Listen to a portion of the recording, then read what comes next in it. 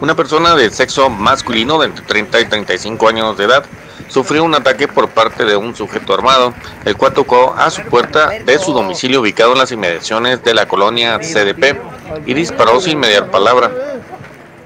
Trascendió que policías municipales y paramédicos atendieron una llamada de auxilio de los vecinos del sector y del propio afectado, donde reportaron una persona lesionada por arma de fuego en las calles Internacionalismo y Revolución Proletaria de la citada colonia.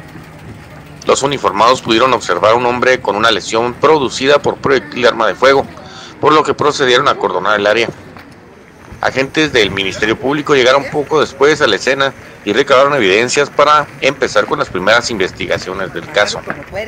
La víctima fue trasladada de emergencia a un hospital y su estado se reporta delicado. Informó para Relevancia Chihuahua Miguel Chacón. Este segmento fue patrocinado por Papas Fritas del 80. Papas Fritas del 80, las mejores de Chihuahua.